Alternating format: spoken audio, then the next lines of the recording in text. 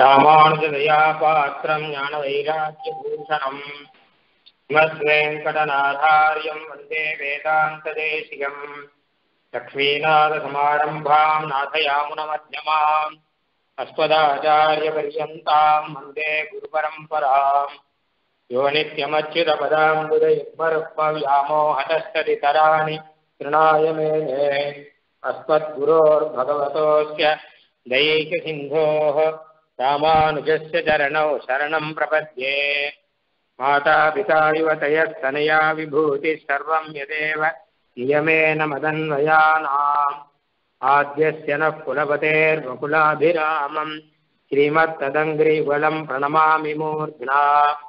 भूतम् सरश्च भट्टनाथ श्रीभक्तिसारकुलशेखरयोगिवाहान्। भक्ताङ्घिरेणुपरकालयतीन्द्रमिश्रान् श्रीमत्पराङ्कुशमुनिम् प्रणतोऽस्मि नित्यम्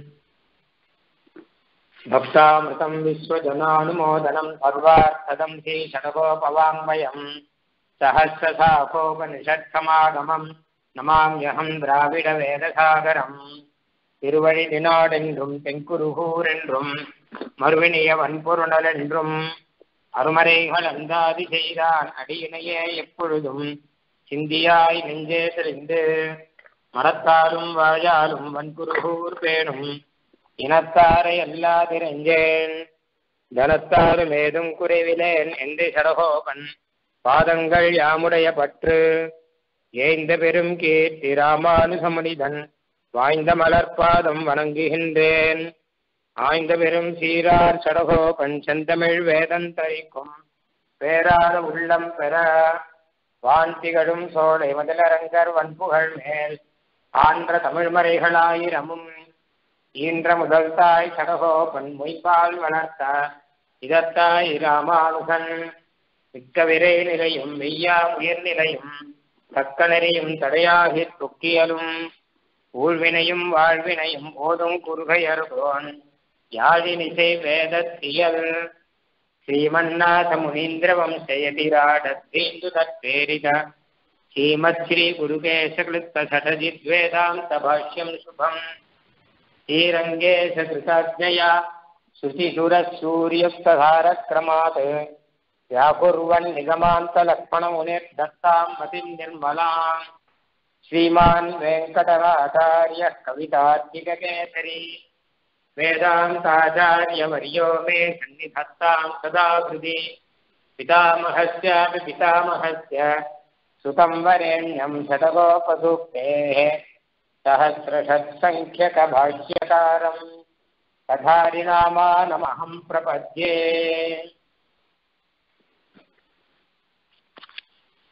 எம்பெருமான் கருணைக்கு வசப்பட்டவன் அதாவது எம்பெருமானுக்கு கருணை உண்டு அளவில்லாத கருணை உண்டு என்று சொன்னால் போராது ஆச்சாரியர்கள் எல்லாம் அப்படி சொல்லவில்லை. எம்பெருமானுக்கு கருணை உண்டு என்று சொன்னால் எம்பெருமான் யாரிடம் கருணை செலுத்த வேண்டுமோ அவரிடம் நல்ல கருணை செலுத்துவான் என்பதாக அர்த்தம். ஆனால் இங்கே அப்படி இல்லை. கருணைக்கு வசப்பட்டு இருக்கிறான் எம்பெருமான். நாமெல்லாம் எப்படி இந்திரியங்களுக்கு வசப்பட்டு இருக்கிறோமோ இந்திரியங்களை மீற முடியாமல் தவித்துக் கொண்டிருக்கிறோமோ அதுபோல கருணைக்கு வசப்பட்டு எம்பெருமான் இருக்கான். காருண்யா தீனவருத்தின் கமல திருஷம் அவைத்து காதிசூனுகு கிருதார்த்தா என்பதாக சுவாமி தேசிகன் இங்கேதான் சாதிக்கிறார். இந்த திருவாய்மொழியினுடைய சாரம் என்ன? ஐந்தாம் பத்திரே முதல் திருவாய்மொழியாக இங்கே சுவாமி தேசிகன் சாதித்துக் கொண்டிருக்கிறாரே. சுவாமி நம்மாழ்வார் சாதித்துக் கொண்டிருக்கிறாரே. இதன் சாரம் என்ன என்றால் எம்பெருமான் காருண்யாதீன விற்பி கருணைக்கு அதீனமாகவே செயல்களை செய்பவன். தன் இஷ்டப்படி செய்யாமல் தன் கருணைப்படி செய்கிறான். இதன் விளக்கமாகத்தானே தயாசதகம் பூர்த்தியாக. இந்த ஒன்னுடைய விளக்கம்தான். எப்படி எம்பெருமான் கருணைக்கு கட்டுப்பட்டு இருக்கான்? கருணையை மீறி செய்ய முடியாமல் இருக்கிறான். அதனால்தான் எம்பெருமானை காட்டிலும் கருணையை உயர்த்தையாக சொல்லி தயா சதகம் என்கிற ஸ்தோத்திரம் அவதாரம் செய்தது. நமக்கெல்லாம் அந்த கருணை தான் முக்கியமாக இருக்கிறது என்பதாக சுவாமி தேசிகன் அதனாலே அந்த ஸ்தோத்திரத்தை சாதித்தார். இங்கே நான் ஆழ்வார் தன்னை சொல்லும் போது நான் வெளி விஷயங்களிலேயே ஈடுபாடு கொண்டிருந்தாலும் எம்பெருமான் வந்து தன் விஷயத்திலே ஈடுபாடு உள்ளபடி ஆக்கிவிட்டார். ஏன்? கருணை? நான் வந்து ஏதோ சில வார்த்தைகள் எல்லாம் சொன்னேன். தேனே இன்னமுதே என்றென்றே சில கூற்று சொல்ல. தேனேன்னு சொன்னேன். இன்னமுதே சொன்னேன். என்னை உன்னை விட்டு நான் எப்படி இருப்பேன் என்று சொன்னேன். இதெல்லாம் அகிருதயமாக ஏதோ கள்ளம் கவிர் கள்ளம் கலந்து சொன்ன வார்த்தை. ஆனால் எம்பெருமான் இதை உண்மையாக்கி விட்டான் அவன் என்னோடு கலந்து விட்டான் என்பதாக சொல்லுகிறார். இதில் ரெண்டு விஷயம். ஒன்றாவது எம்பெருமானுடைய கருணை. ஏன்னு கேட்டா நாம் அகிருதயமாக சொல்கிறோம் என்பதும் எம்பெருமானுக்கு தெரியும். தெரிஞ்சும் அதை எம்பெருமான் ஆதரித்து நமக்கு அனுகிரகம் செய்கிறார். லோகத்திலே ஒரு எஜமானர் ஒருவர் இருக்கான்னு வச்சுக்கோ. அவருக்கு வேலை பார்க்குறவங்க ஒருத்தர் அவர்கிட்ட பேசும்போது அவன் உங்களை போல நல்லவர் உண்டா? உங்ககிட்ட வேலை செய்யறதுக்கு எனக்கு கொடுத்து வச்சிருக்கணும் பரம பாக்கியம்லாம் சொல்றான். ஆனா வெளியில போய் மற்றவர்கள் கிட்ட இவரை பற்றி வேற மாதிரி பேசுகிறான். இந்த மாதிரி பேசல. ஏதோ தலையெழுத்து இங்க வந்து வாக்கின்னு இருக்கேன் என்பதாக பேசுகிறார். நான் இருந்தா எங்கேயோ இருக்கிறோம். எனக்கு எத்தனையோ போக்கிய விஷயங்கள் இருக்கு. அதெல்லாம் விட்டுட்டு இந்த ஆபீஸ்ல வந்து இருந்திருக்கேன் அப்படின்னு சொல்றான் இவன் இப்படி சொல்கிறான் என்கிற விஷயம் எஜமானருக்கு தெரியாத வரை இவனுக்கு நல்லது. எஜமானுக்கு அந்த விஷயம் தெரிஞ்சுடுத்துன்னு வச்சுக்கோங்க. அப்ப இவன் சீட்டு கிழிஞ்சிடும். இங்கே என்ன நடக்கிறதுன்னு கேட்டா எம்பெருமானுக்கு நான் தாசனாக இருக்கிறவன் எம்பெருமானையே பரம போக்கியமாக நடித்துக் கொண்டு எம்பெருமானுக்கு கைங்கரியம் செய்வதையே பரம பாக்கியமாக நினைத்துக் கொண்டு நான் இருக்கேன் அப்படின்னு சொல்லிட்டு இருக்கோம் வெளியில. ஆனா உண்மையில என்ன கேட்டா இந்த எம்பெருமான் விஷயத்தை காட்டிலும் மற்ற விஷயத்தை எல்லாம் பெரிய விஷயமா நினைச்சு மற்ற போகங்களை எல்லாம் பெரிய போகமா நினைச்சு புறமே புறமேயாடி என்று புற விஷயத்திலேயே ஈடுபட்டு நின்றுருக்கோம் தாயார் சொல்றது எம்பெருமான் விஷயத்துல. ஆனால் ஈடுபாடு மட்டும் வெளி விஷயத்துல. இது வேஷம். இது ஒரு ஏமாத்தல். இது எம்பெருமானுக்கு தெரியும். தெரிஞ்சா எம்பெருமான் என்ன பண்ணணும் கேட்டா நம்மள சீப்போன்னு வெளியில தள்ளணும் ஆனால் அவன் நம்மையும் ஏற்றுக்கொண்டு நமக்கு இன்னும் கைங்கரியத்தை கொடுத்து உண்மையிலேயே தன்னை பரம போக்கியனாக ஆக்கி விடுகிறான் தன்னைத்தானே ஆக்கிடுறான் அப்ப உண்மையா ஆயிடுச்சு நான் ஏதோ பொய்யா சொன்னேன். பொய்யே கைம சொல்லி புறமே புறமேயாடி மெய்யே பெற்றொழிந்தேன் அப்படின்னும் போது எம்பெருமானுக்கு இருக்கக்கூடிய அந்த கருணை அந்த கருணையினாலே தான் ஏன்னு கேட்டா கருணைனா என்ன கேட்டா நம்ம கிட்ட இருக்கக்கூடிய தோஷம் தெரிஞ்சு தெரியாம பண்ற அனுகிரகம் இல்லை. நம்ம பொய் சொல்றாங்கிறது தெரியும். தெரிஞ்சும் நமக்கு அனுகிரகம் பண்ணுகிறான் அப்படிங்கிறது கருணையினுடைய ஒரு உச்ச கட்டத்தில் இருக்குது இது முதல் விஷயம். அடுத்து ரெண்டாவது விஷயம். ஏன் அப்படி பண்ணான் நமக்கு? அப்படி எம்பெருமான் நமக்கு அனுகிரகம் பண்ணும்படி நாம் என்ன பண்ணோம்? ஒரு பக்கம் பார்த்தா புறமே புறமே அப்படின்னு வெளி விஷயத்திலே ஈடுபட்டு கொண்டிருக்கிறோம். பொய்யெல்லாம் சொல்லியிருக்கோம் அப்படி இருக்கச்சே எம்பெருமான் நமக்கு ஏன் அனுகிரகம் பண்ணான் என்று யோசித்து பார்த்தால் இரண்டாவது விஷயம் தெரியும். எம்பெருமானுடைய கருணையானது நம்ம நம்ம விஷயத்தில் வருவதற்கு எந்த சாக்கு என்று எதிர்பார்த்து கொண்டிருக்கு. ஏதாவது ஒரு சாக்கு கிடைச்சா வந்து விடலாம். அப்போ அதுக்கு ஒரு சாக்கு ஒன்று கிடைச்சிருக்கு.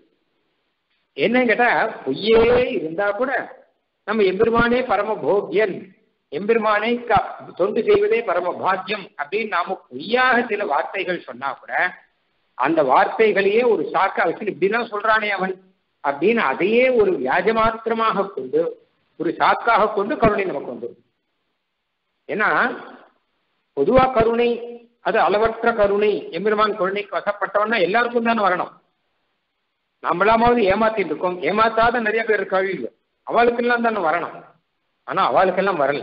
நமக்கு என் ஏன் வருகிறதுன்னு கேட்டால் ஒரு வியாஜம் ஒரு நிமித்தம். சாக்கு வச்சுட்டு கருணை வந்துடுவியா இதை இங்கே பின்னாடி அடுத்தடுத்த பாசுரத்திலையும் இது ஸ்பஷ்டமாக சொல்ல போற சுவாமி நம்மாழ்வார். ஆக சுருக்கமா சொல்லணும்னா காருண்யாதீன விருத்திம். கமலதிருஷம் அவைத்து காரிசூனுகு கிருத்தார்த்தகா நம்மாழ்வார் ஏன் அப்படி சொன்னார்னா கிருத்தார்த்தா அவர் எம்பெருமானை அப்படியே அனுபவிச்சவர். எம்பெருமானுடைய கருணை அப்படியே அனுபவிச்சு எம்பெருமானையே பரம போக்கியமாக கடைசியில பெற்று ஆனந்தப்பட்ட நம்மாழ்வார் தானே இந்த விஷயத்தை சொல்ல முடியும். வேற யார் சொல்ல முடியும்? அனுபவித்தவர் தானே சொல்ல முடியும். அதனால அவர் அனுபவித்து சொன்ன பாசுரம் இது என்பதாக சுவாமி தேசிகன் சாதிக்கிறார். இந்த இதிலே நாம் ஏழு பாசுரங்கள் பார்த்து விட்டோம் எட்டாவது பாசுரமாக பார்க்கணும். மேலாத்தேவர்களும் நிலத்தேவரும் மேவித்தொழும். மாலார் வந்து இனநாள் அடியேன் மனத்தே வன்னினார். சேலேய் கண்ணியரும் பெரும் செல்வமும் நன்மக்களும். மேலாத்தாய் தந்தையும் அவரே இனி ஆவாரே ரொம்ப மேலான தேவர்கள் என்று சொல்லக்கூடிய நித்திய சூரிகள். கீழே நிலத்தேவர்கள் என்று சொல்லப்படக்கூடிய பூமியில் இருக்கக்கூடிய பாகவதர்கள். இவர்கள் இருவருமே மிக்க ஆதரவோடு எம்பெருமானை தொழுகின்றனர். அப்படிப்பட்ட எம்பெருமான் எல்லாவரை காட்டிலும் உயர்ந்தவனான உயர்வர உயர்ந்த எம்பெருமான் என் இடத்திலே வந்து என் மனசிலே வந்து திடமாக பற்றி நிற்கிறார். பரம யோகிகள் எல்லாம் கூட எம்பெருமானை தேடிக் கொண்டிருக்க எம்பெருமானோ என்னை தேடிக்கொண்டு நான் இருந்த இடத்திலே வந்து என் மனசிலே மன்னி நின்றார். இனி என்ன? இது எனக்கு எல்லாமே எம்பெருமான் தான். எல்லாருமே எம்பெருமான் தான். எனக்கு மீன் போன்ற கண்ணினை கொண்ட நல்ல மனைவிகள் என்றாலும் எம்பெருமான் தான் பெரும் செல்வமும் எம்பெருமான் தான் நன் மக்களும் எம்பெருமான் தான் தாய் தந்தையும் எம்பெருமான் தான் இப்படி என்னுடைய உறவுகளாலே எனக்கு பிறக்கக்கூடிய எல்லா விதமான பிரீதியையும் நான் எம்பெருமானுடைய அனுபவத்தினாலேயே பெறும்படி எம்பெருமான் எனக்கு நின்று பரம அனுகிரகம் செய்கிறான் என்பதாக இந்த பாசுரத்தினுடைய அர்த்தம். மேலாத்தேவர்களும் நிலத்தேவரும் மேவி தொழும் மாலார். எம்பெருமான் மிக்க உயர்ந்தவர். ஏன்னா எல்லாரும் வணங்கும்படியாக எல்லாரும் தொழும்படியாக எல்லாரும் மேவி தொழும்படியாக ஆதரித்து தொழுகிறார்கள். ஏதோ ஏதோ மேலோட்டோ இப்ப சித்திக்கு கை கூப்பிட்டு போயிடலாம் அப்படின்னு இல்லை. சில பேர் வேறு கை கூப்பிட்டு இப்ப சித்திக்கு கை கூப்பலாம். அப்புறம் பார்த்துக்கலாம் நாளைக்கு. அப்படி கிடையாது. என்னை படைத்தவன் எம்பெருமான் தானே அப்படிங்கிற எண்ணத்தோடு எல்லாரும் ஆதரவோடு எம்பெருமானை தொழுகிறார்கள். தொழுபவர்களை இரண்டு விதமாக சொல்றார் சுவாமி நம்மாழ்வார். ஒன்று மேலாத்தேவர்கள் இரண்டாவது நிலத்தேவர்கள். மேலாத்தேவர்கள் அப்படின்னா மேன்மையான தேவர்கள். அதாவது சர்வ பிரகாச சர்வ பிரகார உத்கிருஷ்டரான எல்லா பிரகாரத்திலும் உயர்ந்தவரான நித்திய சூரிகள் என்பதாக அர்த்தம் சொல்லியிருக்கிறார். சாதாரண தேவர்கள் அல்ல மேன்மையான தேவர்கள். நிலத்தேவர் அப்படின்னா இந்த நிலத்திலே வந்து தேவர்கள் இந்த நிலத்திலே வந்து எம்பெருமானை அனுபவிப்பவர்கள் அர்த்தம் வைக்கலாம். பிள்ளான் சாதிக்கிறார். கர்மபூமியிலே வந்தவராய் பிரகதி சம்சிஷ்டராய் இருந்து வைத்து சுவானுபவை கபோகரான திவ்ய புருஷர்களாலும் இந்த கர்ம பூமியிலே வந்து நல்லா கவனிக்கும் வந்திருக்கிற இடம் இந்த பூமி. இது கர்ம பூமி கர்மாங்கிறது கர்ம பலனான சுகதுக்கத்தை அனுபவிக்கிறதுக்காக இந்த ஜென்மம் எடுத்திருக்கா? இந்த பூமியே அதற்காகத்தான் இருக்கு. ஆனா இங்க வந்து அந்த சுகதுக்கத்தை விட்டுட்டு எம்பெருவானை அனுபவிக்கணும்னு நினைக்கிறேன் அதாவது நித்திய சூரிகள் சீவைகுண்ட லோகத்திலே இருந்து கொண்டு எம்பெருவானை அனுபவிப்பது இருக்கட்டும். ஏன்னா சீவைகுண்ட லோகங்கிறது கர்ம பூமி இல்லை. அது அப்ராகிருத பூமி. அங்க பிரகிருதியை அனுபவிக்க வேண்டிய அவசியம் இல்லை. எம்பெருமானத்தான் அனுபவிக்கணும். சீவைகுண்ட லோகத்திலே இருந்து கொண்டு எம்பெருமானை அனுபவிப்பது இருக்கட்டும். இந்த கர்ம பூமியிலே வந்து பிராகிருத்த பூமியிலே வந்து இந்த பிரகிருதியை விட்டுட்டு எம்பெருமானை கொஞ்சம் அனுபவிக்கணும்னு ஆசைப்படுறா பாருங்க சில பேர். அவர்கள் தான் நிலத்தேவர்கள். அவர்கள் மேலாத்தேவர்கள். இவர்கள் நிலத்தேவர்கள்.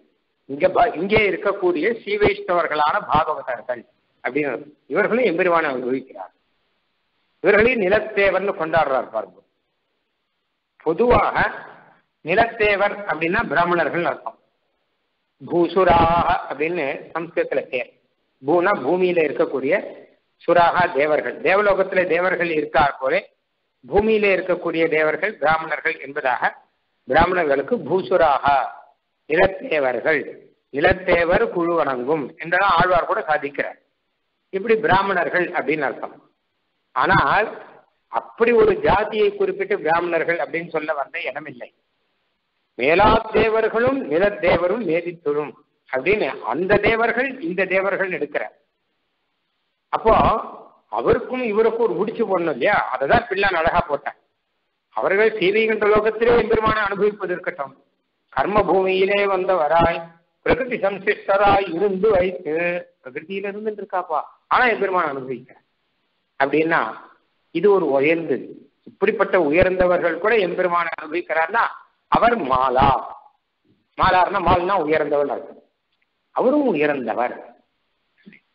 மேலாத்தேவர்களும் நிலத்தேவரும் மேவி தொழும் மாலார் மேவி தொழும் அப்படின்னு இருக்கு அப்படின்னாலே ரொம்ப பகவத் ஞான பிரேமாதிகளாலே உஜ்வல சுபாவரான பாகவதர்கள் என்பதாக சாட்சாத் சுவாமி வியாக்கியானம் சாதிக்கிறார்.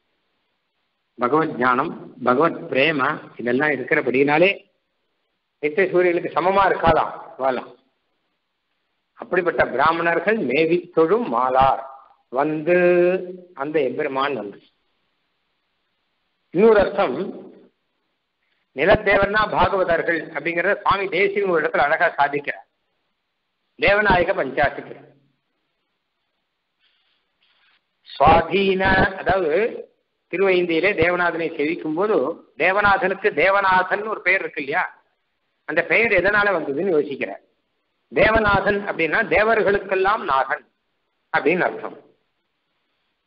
தேவர்களுக்கு நாதன் எம்பெருமானை சொன்னா இதுல என்ன ஒரு பெரிய பெருமை இருக்குன்னு யோசிச்சு பாக்குறேன் ஏன்னு கேட்டா சுவாதீன விஸ்வ விபவம் பகவன் விசேஷாது. தேவர்களுக்கு மட்டுமா எம்பெருமான் நாதன் எல்லாருக்கும் தானே நாதன் யார் தேவர்கள்னா யார்? இந்திராதி தேவர்களுக்கு நாதனா ஏன் நித்திய சூரியர்களுக்கு நாதன் இல்லையா? ஏன் மகர்ஷிகளுக்கு நாதன் இல்லையா? தேவ யக்ஷர கிண்ணர கந்தர்வ யக்ஷ புருஷன் யார் யார் இருக்காலும் மொத்த பேருக்கும் நாதன் மகர்ஷிகளுக்கெல்லாம் நாதன் அப்படி இருக்க வெறும் தேவர்களுக்கு நாதன் ஒண்ணு மாத்திரம் சொல்லிட்டு விடக்கூடாது. சுவாதீன விஸ்வ விபவம் லோகத்துல மொத்தத்துக்கும் நாதனா இருக்கிறவனை பார்த்து தேவர்களுக்கு நாதன் அப்படின்னு சொன்னால் அது ஒரு குறவு. அது பெருமையாக ஆகாது. ஆனா அப்படி எல்லாரும் சொல்லிட்டு இருக்காங்க. சுவாதீன விஸ்வ விபவம் பகவன் விசேஷாத் துவாம் தேவநாயக முசந்தி பராவரஜாக அப்படி இருந்துச்ச இவனை தேவநாயகன் தேவநாதன் சொல்லக்கூடாது. சொன்னால் எம்பெருமானுடைய பெருமையை குறைத்து சொன்னதாக ஆகும் பத்து கோடி ரூபாய் வச்சுருக்கோம் பார்த்து இவர் ஒரு கோடி வச்சுருக்கான்னு சொன்னா பெருமையை குறைச்சு சொன்னதாக தான் அர்த்தம். இந்த மாதிரி எல்லாருக்கும் நாசனா இருக்கணும் பார்த்து தேவர்களுக்கு நாசன்னு சொல்லக்கூடாது. ஆனா சுவாமி சொல்றார் பராவரஜாக ஆனா சொல்றவா யாருன்னு கேட்டா எம்பெருமானை பத்தி நன்கு தெரிந்தவர்கள் சொல்றா. எம்பெருமானுடைய குணத்தை பூர்ணமாக சொல்லக்கூடிய பரம ஞானிகள் தேவநாதன் பேர் வச்சிருக்காங்க அது ஏன்னு யோசிச்சு பார்த்தேன் பிராய பிரதர்ஷயித்து மே ஏததிதி பிரதீமஹா தத் பக்தி பூஷித தியாம் இக தேவபாவம். தேவநாதன்னா இந்திரன் முதலான தேவர்களுக்கு நாதன் அப்படின்னு அர்த்தத்துல சொல்லலையாமவா? பின்ன நித்தியசூரிகள் தான் தேவர்கள். அந்த தேவர்களுக்கு நாதன் அப்படிங்கிற அர்த்தத்திலையும் அவா சொல்லலையா? பின்ன என்ன கேட்டா இந்த மண்ணிலே பிறந்து வைத்து இங்கே பிராகிருத போகத்திலே இருப்பவர்களாக இருந்தாலும் இங்கே இருந்து கொண்டு எம்பெருமானை யார் பக்தியுடன் சேவிக்கிறார்களோ அவர்கள் தேவர்கள். பக்தி பூஷித தியாம் இக தேவபாவம் எம்பெருமான் என்ன பண்றான் கேட்டா அந்த தேவர்களுக்கு என்ன பெருமையை கொடுக்கிறானோ அதே பெருமையை இங்கே பூமியிலே இருக்கக்கூடிய பாகவதர்களுக்கு கொடுக்கிறான். இவர்களும் தேவர்கள் ஆக்குறான். இவர்களையும். ஏன்னா எம்பெருமானுடைய அனுகிரகம் அவளுக்கும் கிடைக்கிறது இவளுக்கும் கிடைக்கும் அதனால இவர்களையும் தேவர்களாக்கி இவர்களுக்கு பெருமான் அனுகிரகம் செய்வான். தேவநாதனை யார் சேவிக்கிறாளோ திருவேந்தியிலே அந்த தேவநாத பெருமான் என்ன பண்றான்னு கேட்டா யார் வந்து சேவிக்கிறாளோ அவர்களையும் தேவர்களாக்கி அந்த தேவர்களுக்கு அவன் நாதனான் பக்தி பூஷித தியாம். பக்தி இருந்தா இதனுடைய தாற்பயம் என்னன்னு கேட்டா நாம் வைஷ்ணவர்கள்லாம் பெரியவர்கள் பார்க்கும்போது தேவர் என்று சொல்லுவோம். தேவரீர் எழுந்தொள்ள வேணும். தேவரீர் அனுகிரகம் செய்ய வேண்டும். வைஷ்ணவர்கள் ஒருவருக்கு ஒரு பார்த்தா தேவரீர்னு சொல்லுவான் வயசுல பெரியவாள் இல்லை. வைஷ்ணவனா இருந்தாலே போதும் தேவரின்னு சொல்லுவான். தேவரின்னா தேவரும் தான் அர்த்தம். தேவன்கிறத நேர பார்த்து சொல்லும்போது தேவரின்னு சொல்லுவான். நீங்கள்ங்கிற அர்த்தத்தில் அர்த்தம் ஆனா தேவருங்கிறது சேர்த்து சொல்லணும். அப்போ அடியவன் அப்படின்னு தன்னை சொல்லிட்டு எதிரே இருப்பவரை தேவர் என்பதாக சொல்லக்கூடிய சம்பிரதாயம் இருக்கு இல்லையா? அவர் எப்படி தேவர் ஆனார் அப்படின்னா இப்படிதான். பக்தி பூஷித தியாம் பகவத் பக்தி இருக்கிறவர்கள் தேவர். அப்படி அவர்களை தேவர்களாக்கி தேவரீர் என்று சொல்லத்தக்கவராக்கி அதுக்கப்புறம் அவருக்கு நாசனாக இந்த எம்பெருமான் இருக்கானா? அதனால அந்த பெருமை வேற யாருக்குமே கிடையாது. அதனால இவன் தான் தேவநாதன் அப்படின்னு நிர்தாரணம் பண்ற அதாவது யாகத்தில கூட அழகா சொல்றார் யாகம் பண்ணி வைக்கக்கூடிய ரித்திக்குகள் இருக்கையோ அவர்களை தேவர்கள்னு சொல்றார். வேதத்துல சொல்றது. பரோட்சம் வா அந்நே தேவா யுஜ்யந்தே பிரத்யக்ஷம் அந்நே யத்யஜதே ஏவ தேவா பரோட்சம் யுஜ்யந்தே தானேவ தத்யஜதி தேவர்களுக்கு குறித்து யாகம் பண்றது அங்க யாகத்துல. பிரத்யட்சமான தேவர்கள் அப்படின்னு யாகம் பண்ணி வைக்கக்கூடிய வேதாத்தியனம் பண்ணி இருக்கக்கூடிய ரித்விக்கிகள் யாகம் பண்ணி வைக்கிறவர்கள். இவர்களுக்கு யாகம் பண்ணணுங்கிறாங்க இவர்களுக்கு பூஜை பண்ணணும். அந்த தேவர்களுக்கு செய்யற பூஜை பரோட்ச பூஜா. இந்த தேவர்களுக்கு செய்யற பூஜா பிரத்யக்ஷ பூஜா. இதன்வா ஏதேவை தேவா பிரத்யக்ஷம் யத்ராமணா தாரேவதேன பிரீணாதி. ஏப்பா அந்த பரோட்ச தேவர்களான இந்திரன் வருணன் சந்திரன் குபேரன் பூஜிச்சு என்ன இருக்கட்டும்? நேர பிரத்யக்ஷ தேவர்களான இந்த ரித்விக்கிகளை பூஜிக்கணும்பா அப்படின்னு வேதங்கள் சொல்றது. இவாளுக்கு அன்வாகாரியம் சதியாராதனை எல்லாம் பண்ண சொல்லி அந்த மாதிரியாக பகவத் ஆராதனம் இருக்கட்டும். பாகவதர்கள் இருக்காள் அவர்கள் தான் தேவர்கள். அவர்களுக்கு ஆராதனம் பண்ணணும் என்பதாக தாற்பயம் வச்சுக்கலாம் நாம். அப்போ நிலத்தேவர் அப்படின்னா அப்படிப்பட்ட பாகவதர்கள் அப்படின்னு நிலத்தேவர் நம்மாழ்வார் சாதிச்சதை அதனுடைய தாற்பத்தை பிள்ளான் அருளியதை அடியுற்றி அங்கே தேவநாயக பஞ்சாசத்துல சுவாமி தேசிகன் சாதிக்கிறார். மேலாத்தேவர்களும் நிலத்தே வரும் மேவி தொடும் மாலார். அப்படிப்பட்ட மிக உயர்ந்தவர். எல்லா தேவர்களாலும் செவிக்கப்படக்கூடியவர். எல்லா பரம பாகவதர்களாலே செவிக்கப்படத்தக்கவர். உயர்ந்தவரான எம்பெருமான். மாலார் வந்து இனநாள் அடியேன் மனத்தே மன்னினார். மாலார் வந்து அவர் என்னிடத்திலே வந்து அடியேன் மனத்தே மன்னினார். அடியேன் தாசனா இருக்கேன் நான் அவருடைய கைங்கரிய போகத்திலே இருக்கேன். அவர் வந்து என் மனத்தே மன்னி நின்றார் மனசுல வந்து திடமாக நிற்கிறார். வந்துங்கிறது அழகான விஷயம். ஏன்னா நாம் போய் பெற வேண்டிய விஷயம். ஆனா அவன் இங்க வந்திருக்கான். பரமயோகிடிகி அன்வேஷணீயனான தான். நான் இருந்த இடத்திலே வந்து என்பதாக சாட்சா சுவாமி சாதிக்கிறார். யோகிகள் எல்லாம் அவனை தேடி போகணும் அப்படின்னு நினைச்சுட்டு ஆனால் அவன் என்னை தேடி வந்தா மாதிரி நான் இருக்கிற இடத்திலே வந்து என் மனத்திலே வந்து மாலார் வந்து இன நாள். இத்தனை நாளாக அடியேன் மனத்தே மன்னினார். அழகான வார்த்தை அடியேன்.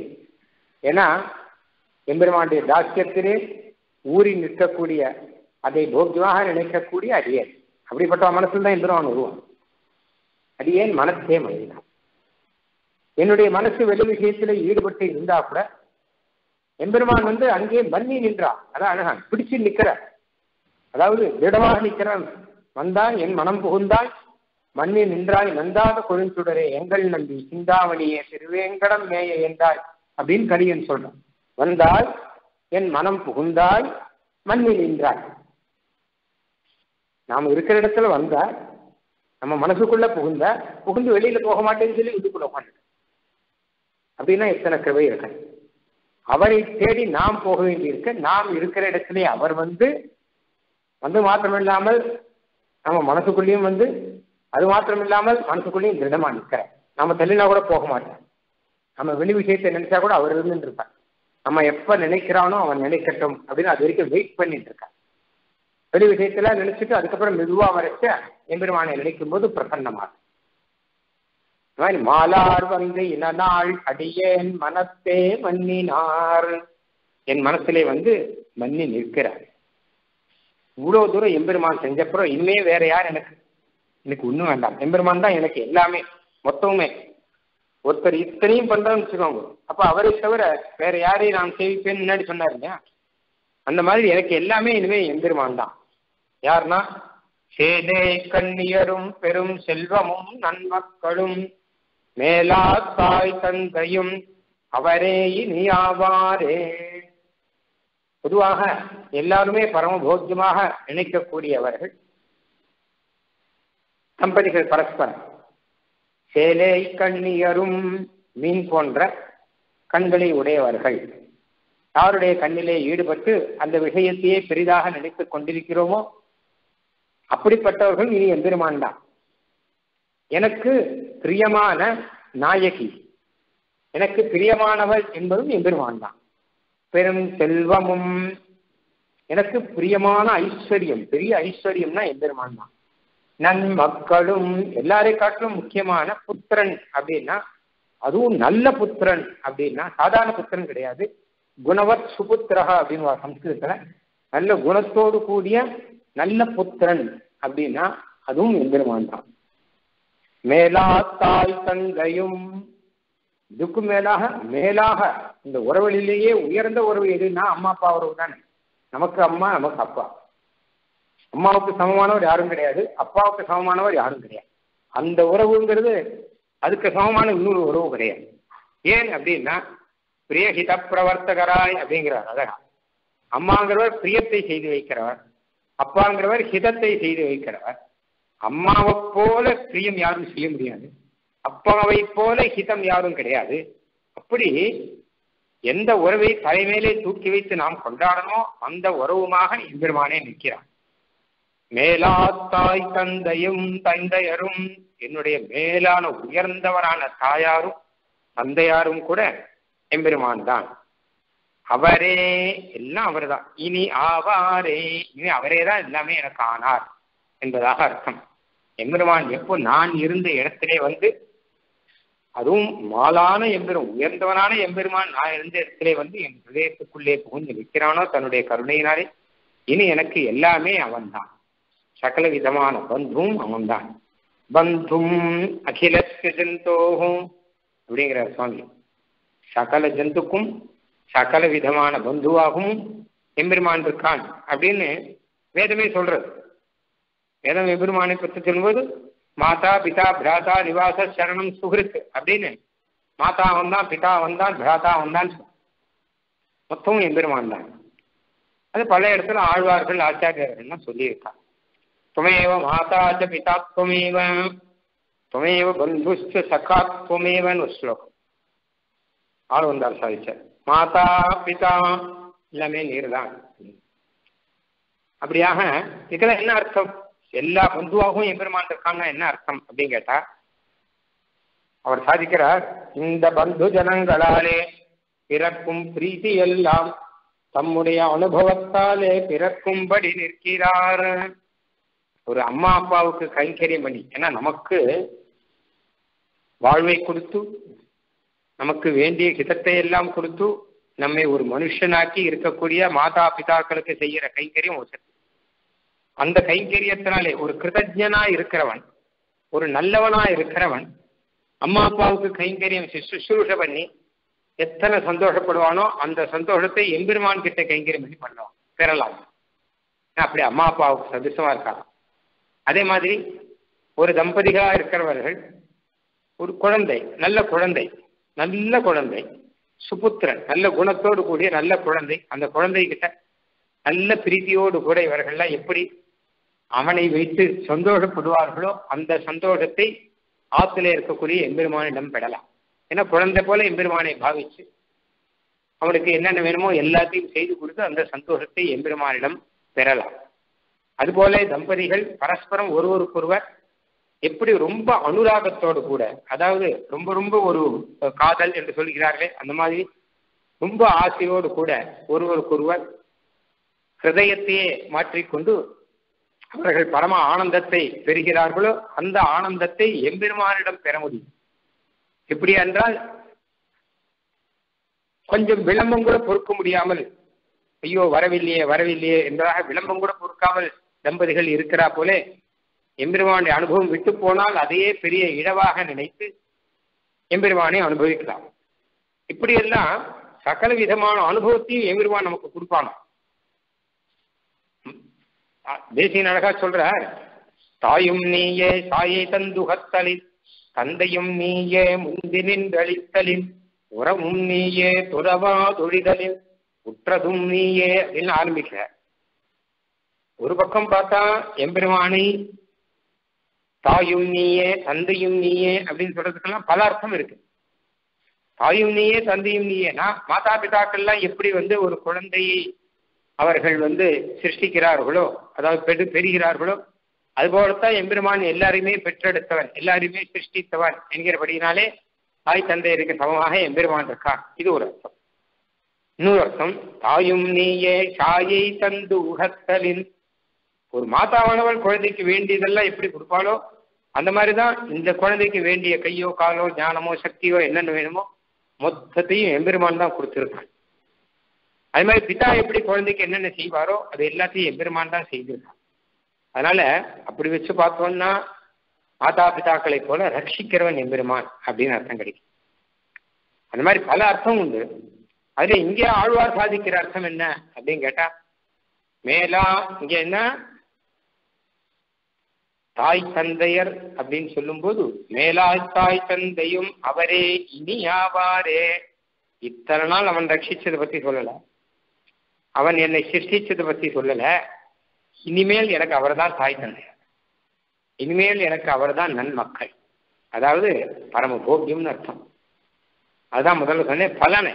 அதாவது ஒரு தாய் தந்தையர் செய்த உபகாரத்தை நினைத்த ஒருத்தன் அப்புறம் அவர்கள் கிட்ட எப்படி நடந்துப்பான்? எத்தனை மரியாதையோடு கூட எத்தனை பிரீதியோடு கூட எத்தனை உபச்சாரங்களை எல்லாம் செய்து கொண்டிருப்பானோ அதே மாதிரி அத்தனை மரியாதையும் அத்தனை பிரீதியும் வைத்து அத்தனை உபச்சாரங்களையும் நான் எம்பெருமான் விஷயத்திலே செய்ய போகிறேன் என்பதாக அந்த ஒரு பாவத்தை இங்கே ஆழ்வார் காண்பிக்கிறார். மேலாத்தேவ மேலாத்தேவர்களும் நிலத்தேவரும் மேவித்தொழும் மாலார் வந்து இனநாள் அடியேன் மனத்தே மன்னினார் சேலை கண்ணியரும் பெரும் செல்வமும் நன்மக்களும்.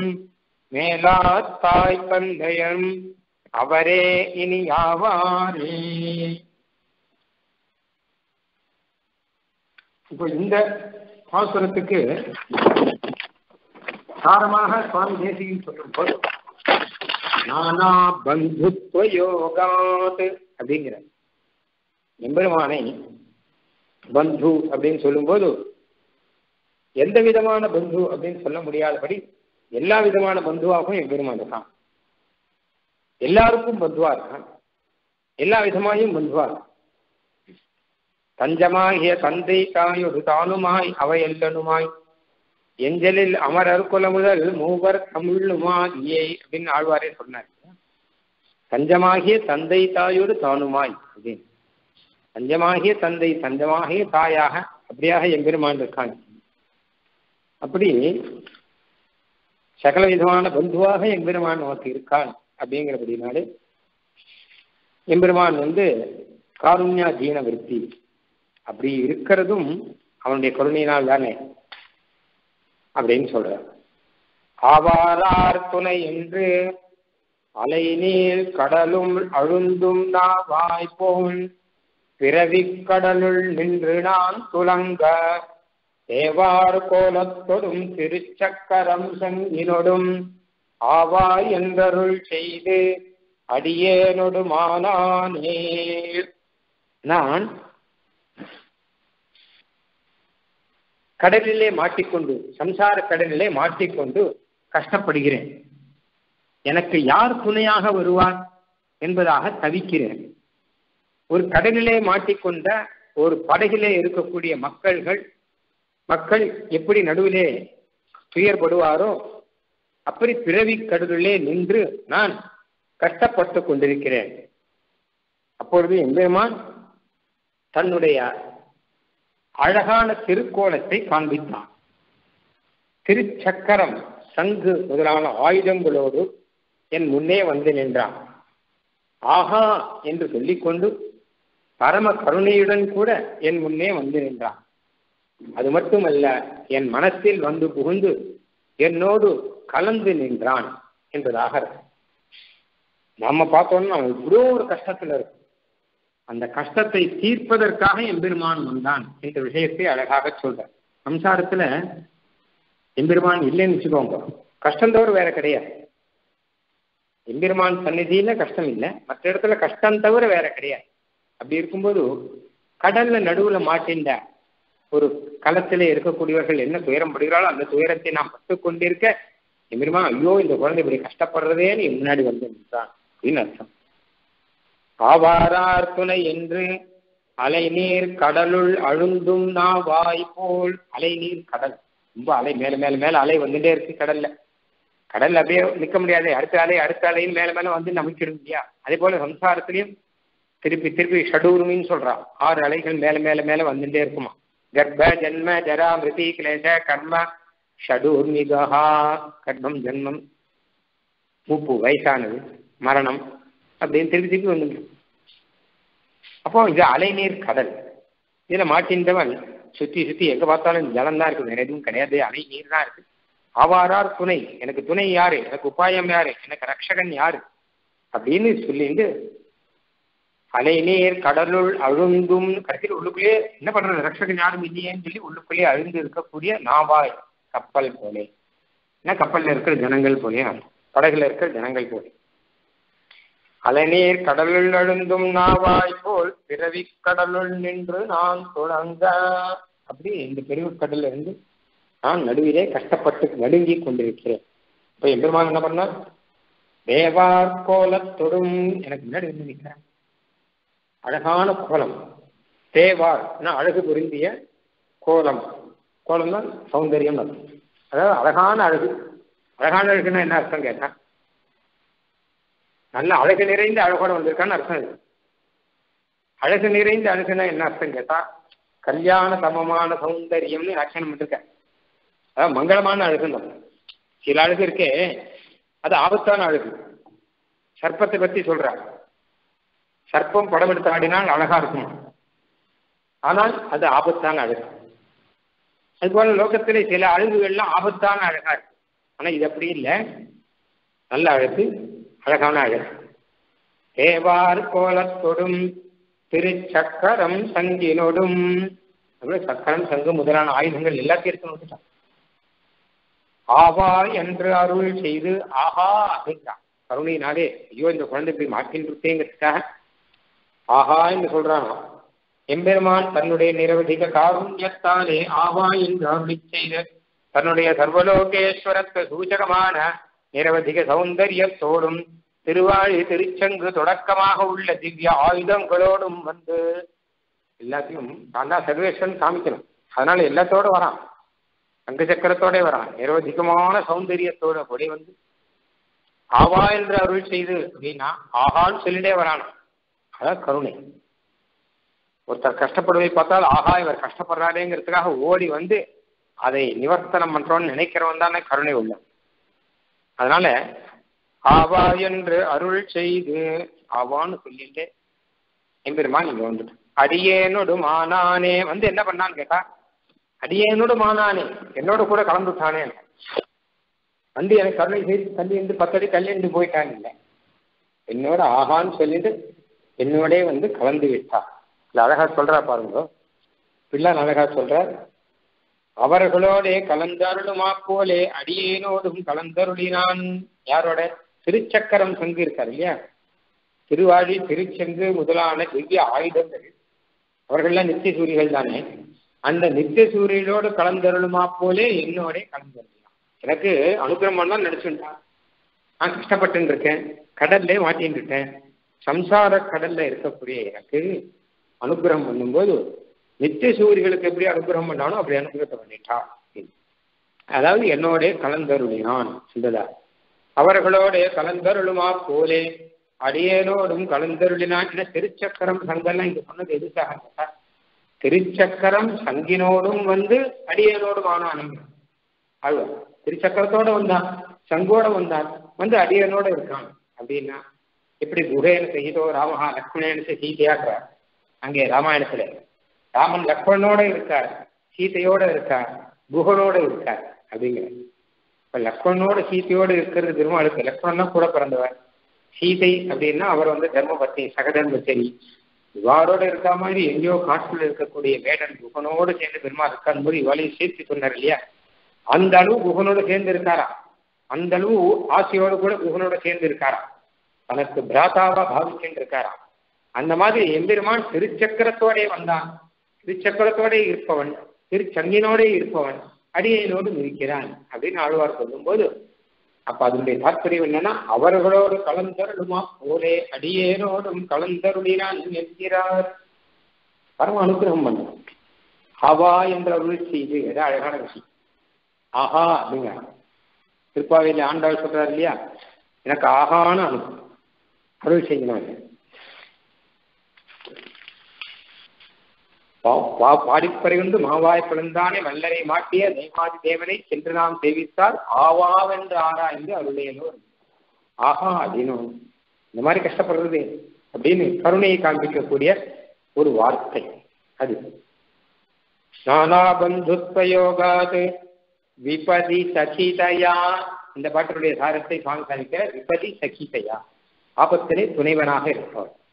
ஆவாரார் துணை. கடல்ல மாட்டின்ற ஒருத்தன் யார் எனக்கு துணை யார் எனக்கு துணை அப்படின்னு கடலுக்குள்ளே முங்கி முங்கி முங்கி கஷ்டப்பட அப்போ ஒரு துணைவனாக ஒருத்தர் பறந்து வந்து அவன் அப்படியே தூக்கி தன் நெஞ்சோடு அழைச்சிட்டு நான் இருக்கேன்னு சொன்னா எப்படி இருக்குமோ? அந்த மாதிரி எம்பெருமான் யார் துணை யார் துணைன்னு நினைக்க நாம சொல்லும்போது ஆஹான்னு சொல்லி நம் மனசுக்குள்ளே வந்து மன்னி நம்மையும் சேர்த்து விட்டுக்கிறார் அப்படின்னு. அப்போ ஆபத்திலே சக்கியாக இருக்கும். யார் ஆபத்திலே சகாயம் செய்கிறானோ அவன் தானே சகி அவன் தானே நண்பன். கஷ்டகாலம் வச்சா நண்பன் யாரும் நண்பன் இல்லாதவன் யாரும் தெரியுமா அந்த மாதிரியாக இப்போ சம்சாரத்துல கஷ்டம்னு ஒருத்தர் நினைச்சா போடும் அப்ப எம்பெருமான் துணையாக வந்து நிற்கிறான் அதனாலே விபதி சகி ஐயா ஆபத்திலே ஸ்தோழனாக இருக்கிறபடியினாலே காருண்யா தீன விருத்தி எம்பெருமான் கருணைக்கு அதீனமானவன். கருணைக்கு அதீனமாகவே செயல்களை செய்பவன் என்பதாக அர்த்தம். அந்த மாதிரி வேற ஒரு முக்கியமான விஷயத்தை அடுத்து சொல்றேன். வியாஜமாத்திராபிலாஷாத் அப்படின்னு. ஏதோ ஒரு வியாஜம் சின்ன ஒரு சாக்குனாலே அனுகிரகம் பண்ணக்கூடியவன் சக்கர அது முக்கியமான விஷயம் அது அப்புறம் பார்க்கணும் நம்ம. சக்கரஸ்பாயத்கரத்வாது ஸ்வஜன வசதையா ரக்ஷணோத்யுக்தபாவாத் பவ்யத்வாத் அமல அமலதனுதயா ஸ்ரீ கஜேந்திராவனாச்ச நானா பந்துத்வயோகாத் விபதி சகிதயா வியாஜமாத்திராபிலாஷாத் காருண்யாதீனவருத்திம் கமலதிருஷமவைத் காரிதூனு கிருதார்த்தா இந்த கடைசி வரியில காக்கானே வரும். காருண்யாதூனவருத்திம் கமலதிருஷமவை காரிதூனுஹு கிருதார்த்தம். சுவாமியுடைய ஸ்லோகம். சொல்றதுக்கும் சுவாரஸ்யமா இருக்கும். இந்த மாதிரி ஸ்லோகம் அழகா பண்ணுவார். இல்ல ரொம்ப ஆச்சரியமான எம்பெருமானுடைய ஒரு குணம். கருணைக்கு கட்டுப்பட்டவன் அப்படிங்கிற குணத்தை இங்கே அதை அனுபவித்த நம்மாழ்வார் அதை அனுபவித்து கிருதார்த்தரான நம்மாழ்வார் அருளை செய்தார் என்பதாக இந்த பாட்டினுடைய சாரம். இந்த இந்த திருவாய்மொழியுடைய சாரம். இன்னும் இதுல முக்கியமான ஒரு குணத்தை சொல்லக்கூடிய ஒரு பாசனம் இருக்கு அதுக்கப்புறம் பரஸ்வரி பாசனம் இருக்கு. அதற்கு பிறகு பொலிக பொலிக என்பதாக அடுத்த சுவாமி ராமானுஜருடைய வைபவத்தை சூச்சனம் பண்ணக்கூடிய பாசுரம். எம்பெருமான் திரு எம்பெருமானாருடைய திருநட்சத்திரம் நம்ம ரெண்டு நாள் முன்னாடி திருவாதிரையில அதோடு சேர்ந்து புளிய புளிய வந்திருக்கணும். ஆனால் நாளைக்காவது நாம் அதை அனுபவிக்க முடியுமா என்பதாக பார்க்கலாம். ஆழ்வார் எம்பெருமானார் தேசிகன் திருவடிகளே சரணம்.